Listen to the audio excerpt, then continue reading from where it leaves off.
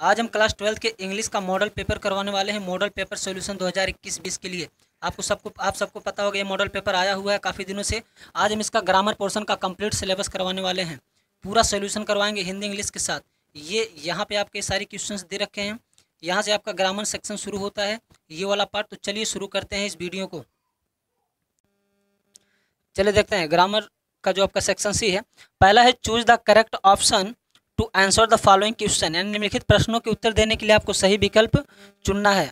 इसमें जो है आपका पहला क्वेश्चन दिया है the absence of government in a country is called the absence means अनुपस्थिति ऑफ़ गवर्नमेंट मीन्स सरकार की इन अ कंट्री मीन्स एक देश में इस कार्ड मीन्स कहलाता है। यानी किसी देश में सरकार की अनुपस्थिति क्या कहलाता है? तो आपको चार ऑप्शन दिया है, मोनार्ची यानी जिसका नाम है राजशाही पैट्रेचरी पितृसत्ता और यहाँ पे दिया है, एनआरची यानी अराजकता, फिर है मैट्रीचेरी यानी मातृसत्ता।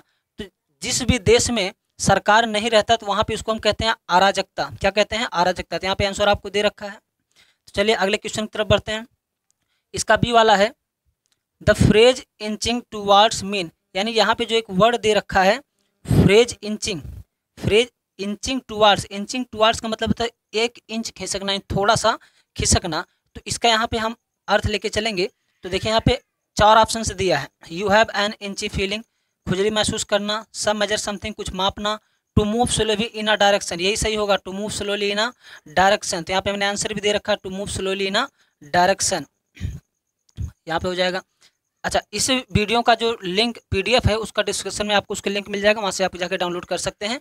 इसको तैयार कर लीजिए। देखिए, अगला है the synonyms of the merge is the synonyms of the merge is यहाँ पे मेर्ज मेर्ज का मतलब होता है अल्प। अल्प का समानार्थी शब्द क्या है यहाँ पे?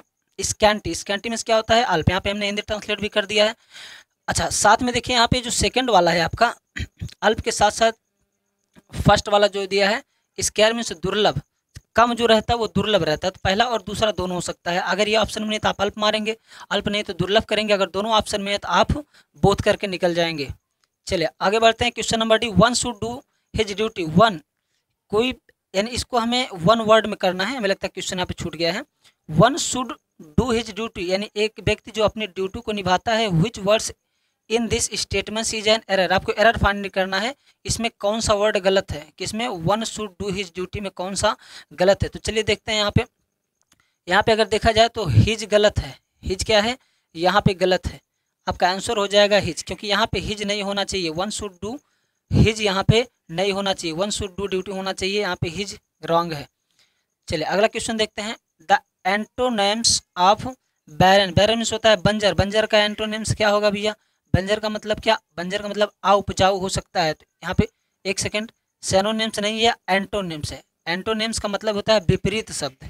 क्या होता है? विपरीत। तो बंजर का विपरीत क्या होगा? उपजाऊ होगा। तो ऑप्शन नंबर ए आपका सही आंसर हो जाएगा। तो यहाँ पे आंसर आपका है फर्टिल यानी उपजाऊ। क्वेश्चन नंबर फाइव देखते हैं। Change any one of the following in the indirect speech indirect speech में इसको कन्वर्ट करना है। I said don't waste your time I said don't waste your time यहाँ पे सलाह दिया जा रहा है तो एडवाइज का प्रयोग होगा यहाँ पे। आंसर हो जाएगा I advise not to waste his time not का हम प्रयोग करेंगे पहले। I advise not to waste his time ये इसका इनडायरेक्ट हो जाएगा। सेकेंड है आपका my mother said to me you can send you application online to यहाँ पे योर होना चाहिए मिस्टेक्स हो गया योर अप्लीकेशन ऑनलाइन टू इसका पासिव वॉइस हो जाएगा। My mother told me told him my mother told him that he could send his application online to तो ये इसका हो जाएगा पैसिव वॉइस ठीक? तो चलिए आगे बढ़ते हैं। अगला क्वेश्चन है combine any one of the following as direction जैसा डायरेक्शन सुझाव दिया गया है, दो सेंटेंसेस को जोड़ना है। तो पहला क्या है? I can give you address my mother gifted it to me यानी मेरी माता के द्वारा मुझे एक गिफ्ट दिया जा सकता है तो इसको हमें कॉम्प्लेक्स सेंटेंस में बनाना है। तो कॉम्प्लेक्स सेंटेंस इसका क्या होगा? यहाँ पे हमने ट्रांसलेट कर रखा है। I can give you address which my mother gifted to me I can give you address which my mother gifted to me ये कॉम्प्लेक्स सेंटेंस हो गया। अगला है do it leave it do it करो इसे लीव इट छोड़ दो। इसको कंपाउंड सेंटेंस में हम क्या करेंगे? जोड़ देंगे। तो कंपाउंड सेंटेंस में जोड़ने के लिए हम इसमें आर का प्रयोग करेंगे। तो आंसर हो जाएगा do it or leave it do it or leave it do it or leave it do it or leave it अच्छा यहाँ पे देखिए आर ये वाला आर ना होके यहाँ पे ओ आर रहेगा, ये मिस्टेक हो गया है यहाँ पे। ओ आर ओ आर ये वाला आर यहाँ पे रहेगा। बात के लिए डू इट और यानी अथवा लीव इट करो या फिर इसे छोड़ो। तो इसको आप सही कर लीजिएगा। आगे देखिए change in any one of the following as direction देखो, लिखने में थोड़ी बहुत मिस्टेक कहीं कहीं हो जाती है। तो हमें क्या करना, जैसा सुझाव दिया गया पाइसी वॉइस में हमें इसको कन्वर्ट करना आई कैन डू इट को तो यहाँ पे आप दिस भी प्रयोग कर सकते हैं इट भी प्रयोग कर सकते हैं। दिस इट में से कोई एक, या फिर it can be done by me या फिर this can be done by me ये इसका हो जाएगा पाइसिव वॉइस अच्छा यहाँ पे एक और पाइसिव था, शायद छूट गया है। ठीक है तो आपको पी डी वहाँ पर मिल जाएगा, आप देख लीजिएगा। ऐसे ही ऐसे ही चेंज करना रहेगा, ज़्यादा टफ नहीं रहता है। तो अगला क्वेश्चन देखते हैं। Correct any one of the following sentences निम्नलिखित वाक्यों में से किसी एक को ठीक करो। यानी हमें इसमें से किसी एक को सीधा करना है जो कि गलत है। You are senior than me यहाँ पे ध्यान देना, आप मुझसे वरिष्ठ है। यहाँ पे दैन का प्रयोग नहीं होता। सीनियर उनियर वर्ड के साथ दैन का प्रयोग नहीं कर सकते, बल्कि इसके साथ टू का प्रयोग किया जाता है। You are senior to me अगला देखते हैं। अगला क्वेश्चन है। कैटल्स आर ग्रेजिंग मवेशी चल रहे हैं। तो यहाँ पे आर ग्रेजिंग ये जो आर है आपका आर क्या है? प्लूरल है तो प्लूरल ये हेल्पिंग में प्लूरल प्लूरल के साथ प्लूरल सब्जेक्ट रहता है। प्लूरल सब्जेक्ट के साथ प्लूरल वर्ब तो यहाँ पे कैटल ना कैटल्स ना हो के कैटल होगा। यस यहाँ पे ये गलत है। बात क्लियर है?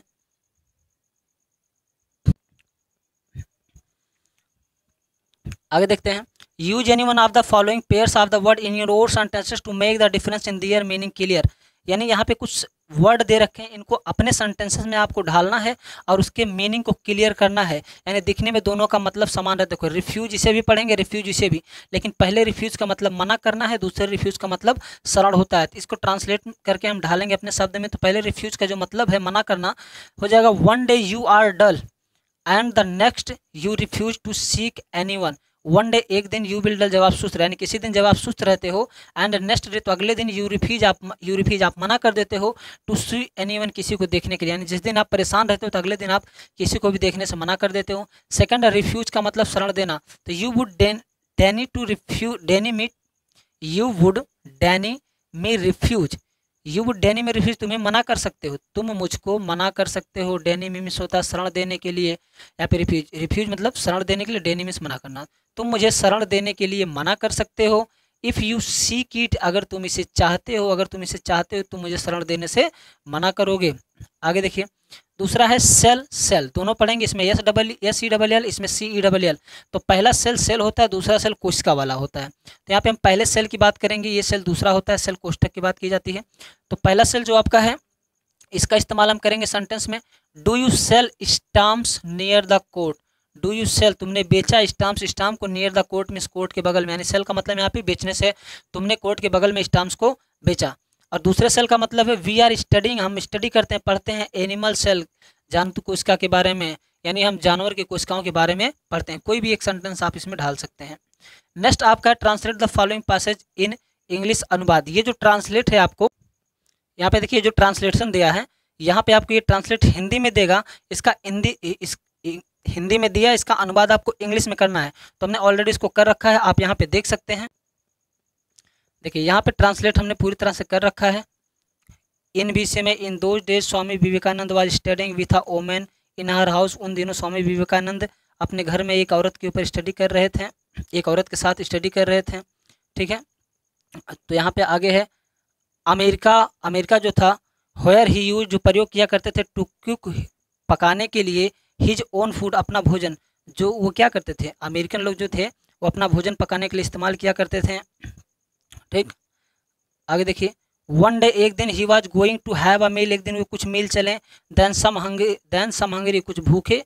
Then some hungry children came तभी कुछ भूखे बच्चे आए एंड स्टूड नियर बाई और उनके पास खड़े हो गए। यानी एक दिन वे कुछ मील चले और कुछ भूखे बच्चे आके उनके पास खड़े हो गए। फिर आगे देखिए। स्वामी विवेकानंद डिस्ट्रीब्यूटर स्वामी विवेकानंद डिस्ट्रीब्यूट कर दिया बांट दिया। आल ही चपातीज अपनी सभी रोटियों को एमंग बीच में दो चिल्ड्रन उन बच्चों के स्वामी विवेकानंद ने अपनी रोटियों को उन बच्चों के बीच में बांट दिया। इन दो डेज़ उन दिनों Swami Vivekananda was the studying उन दिनों स्वामी विवेकानंद स्टडी कर रहे थे। विथ अ ओमेन एक ओमेन के साथ इन हर हाउस अच्छा यहाँ पे एक सेकेंड यहाँ पे चीज़ें दो बार रिपीट हो गई हैं ठीक? यहाँ से आप देख सकते हैं। हम्म, ये वाला जो पोर्शन है आपका स्टडिंग विथ या वोमेन चिल्ड्रन यहीं तक आपका ये पोर्शन कंप्लीट हो जाता है। बात क्लियर है? तो इसके बाद आपका नहीं है। और इसका जो ट्रांसलेट है आपको, ये पीडीएफ में काट देंगे हम, इसको आपको मिल जाएगा। यहाँ पे देखिए, ये हिंदी हिंदी में ऐसे देगा, इसको आपको ट्रांसलेट करना है। बात क्लियर है? तो ये सारी चीज़ें आप तैयार कर लीजिएगा। चलिए देखिए, यहाँ से डिलीट हो गया था, इसको हमने सही कर दिया है। सींग दिस या देख कर द ओमेन आस्ट औरत ने पूछा यू हैव यहाँ पे भी रहेगा मिस्टेक हो गया। You have given all the chapati तुमने तो सभी रोटियाँ दे दी टू ही चिल्ड्रन बच्चों को, तुमने तो सभी रोटियाँ बच्चों को दे दी। What will you eat now अब तुम क्या खाओगे? ही स्माइल्ड वो मुस्कुराए एंड रिप्लाइड और उत्तर दिया bread is only things to quell hunger रोटी केवल एक ऐसी वस्तु है जो भूख को मिटा सकती है। It is not it is not in my stomach मेरे पेट में नहीं, देन बल्कि इन दियर स्टोमेच इनके पेट में, यानी ये भूख में उससे ज़्यादा कहीं इनके पेट में लगी है, यानी मुझसे ज़्यादा भूख इन बच्चों को लगी है। The joy of giving is more than the joy जो आनंद होती है आप गिविंग देने का मोर देन अधिक होता है। द जॉय ऑफ़ रिसीविंग प्राप्त करने से यानी कोई खुशी खुद प्राप्त करने से ज़्यादा आनंद मिलता है दूसरों को खुशी देने में, यानी अपनी खुशी से ज़्यादा खुशी हमें दूसरों को खुश देखकर मिलती है। तो स्वामी विवेकानंद की कहानी थी। ये आपका कंप्लीट हो गया है। यहाँ से आप इसको पूरा तैयार कर लीजिएगा, ठीक? और अच्छे से एग्ज़ाम दे आइएगा।